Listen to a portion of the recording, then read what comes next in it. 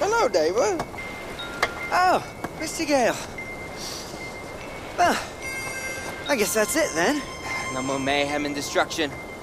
Hanging up the old rocket launcher. All right. I really love what you've done with the place. Ah, It'll be sad to see you go. it'll be on the shelf, as it were. Gathering dust. Unless... Some unfinished business, perhaps. Loose ends, isn't it? Or people to kill.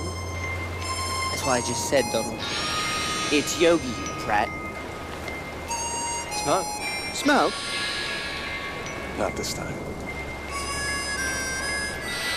You